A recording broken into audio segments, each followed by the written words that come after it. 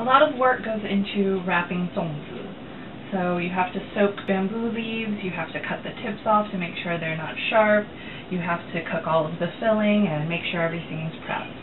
So, what do we do? First, after you've done all of that prep work, you choose two leaves. One longer, as you can see here, one shorter.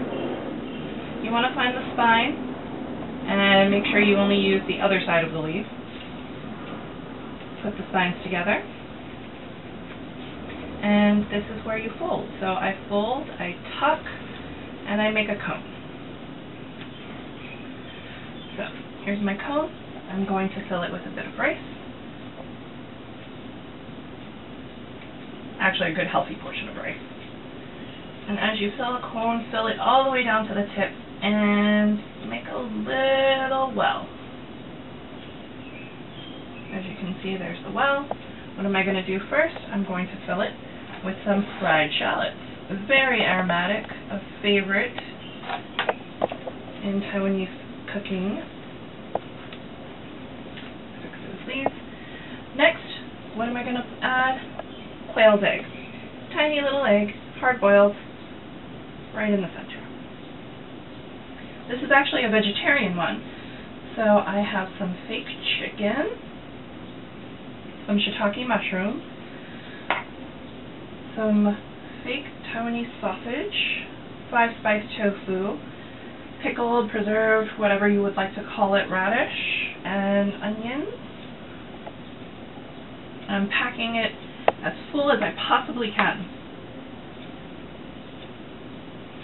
I want to make sure to try to center all of the filling towards, all of the uh, quote-unquote meat filling towards the center of the rice.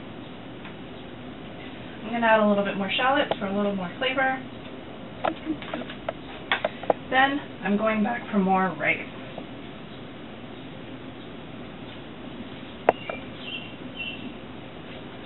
Pack it in there. You want to make sure that only rice is touching the bamboo leaves. Why is that? Because then it will cleanly release when you're trying to eat it. So this is the harder part. You've got these two leaves. You've got the little flap. You want to fold the flap flat.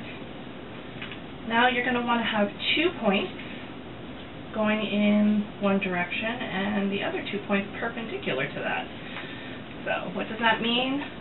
You keep packing and you make sure every single corner of the rice is covered and clean up a little bit.